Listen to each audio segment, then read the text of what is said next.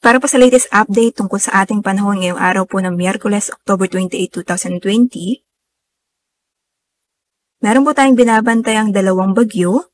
Una po, ito pong si Quinta, na nasa labas na po yan ng Philippine Area of Responsibility. Meron po siyang international name na Mulave, isa po siyang typhoon. At huli po natin yan namataan sa layong 500 km northwest po ng Calayan Island, Palawan, as of 3 p.m. po kanina. Ito po yung merong taglay na lakas hangin na umaabot ng, ng 155 km per hour malapit po sa sentro. Ang pagbugso naman po ng bagyong Quinta ay umaabot naman po ng 190 km per hour.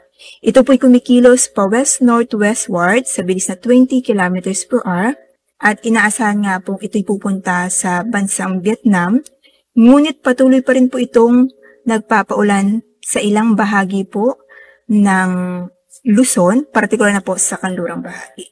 Samantalang yung binabantayan nating bagyo na nasa labas po ng PAR at isa na po siyang tropical depression at inaasahan po natin siyang papasok tonight or tomorrow, tomorrow morning. Yan po, pag pumasok po yan ng Philippine Area of Responsibility, tatawagin po natin siyang bagyong Rolly. Sa ngayon, as of 3 p.m., huli po natin yan na mataan sa line 2,070 km silangan po ng Central Luzon. Meron siyang taglay na lakas na hangin na umaabot ng 55 km per hour malapit sa sentro. Pagbugso naman po ng hangin ay umaabot ng 70 km per hour. Ito po'y kumikilos pa northwest.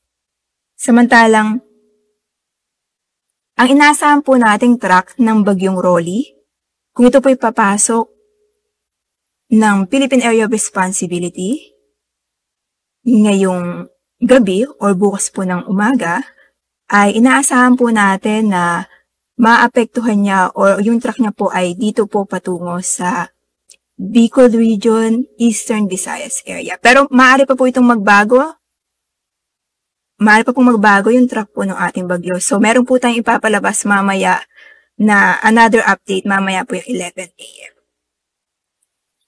Samantala yung magiging taya po ng ating panahon, dito po sa Luzon, dahil po sa trough ng bagyong Quinta o ng Typhoon Mulave, makakaranas pa rin po ng maulap na kalangitan na merong kalat-kalat na mga pagulan at pagkidlat dito po yan sa may Occidental Mindoro, sa may Palawan at sa may Western Visayas. Samantalang sa may Batanes at sa may Cagayan, inaasahan po natin na magkakaroon ng maulap na kalangitan rin na merong light to moderate na mga pagulan at pagkilat at pagkulog. Dahil naman po yan sa frontal system. Samantala sa titrang bahagi po ng Luzon, kasama ng Metro Manila, magiging maganda ang ating tayo ng panahon maliban na lamang sa mga isolated na mga paulan ngunit ito'y panandalian lamang. Ang maging agwat ng temperatura dito sa may lawag ay nasa pagitan po ng 25 to 33 degrees Celsius, Baguio 15 to 22 degrees Celsius, Tuguegarao 23 to 30 degrees Celsius, samantala sa may Calayan Island 23 to 28 degrees Celsius, Metro Manila 25 to 31 degrees Celsius, Puerto Princesa 24 to 29 degrees Celsius, sa may kabikulan po, sa may Legazpi, 25 to 33 degrees Celsius. Samantahan sa may Kabisayaan at sa Mindanao, asahan po natin sa may Western Visayas ay makararanas po ng maulap na kalangitan na meron pa rin pong mga pag-ulan dahil po yan sa, sa trough ng bagyong Quinta na nasa labas po ng PAR. At asahan po natin na magkakaroon po ito ng maulap na kalangitan at meron pong mga pag-ulan.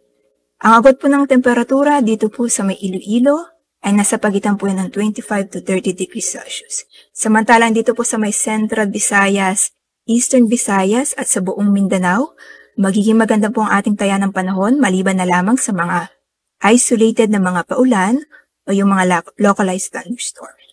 Ang agwat ng temperatura dito sa may Cebu, Tacloban at dito po sa may Davao ay nasa pagitan ng 25 to 32 degrees Celsius.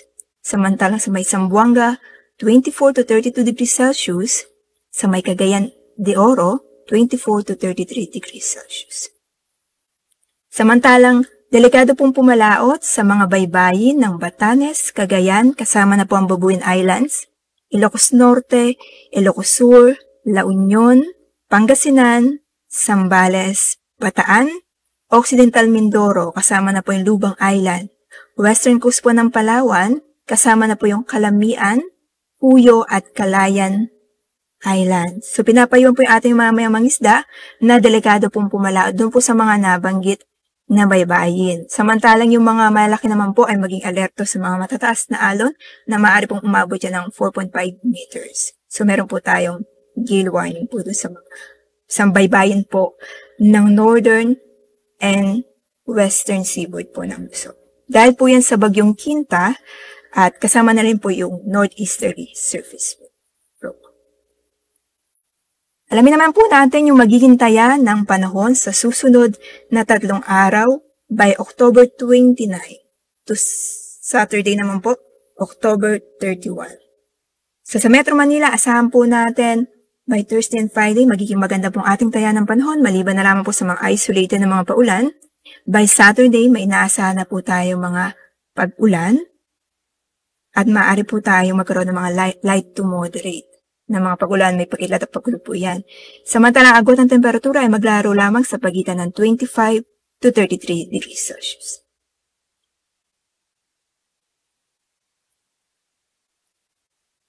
Sa may Baguio City, agwat po ng temperatura ay nasa pagitan ng 16 to 24 degrees Celsius.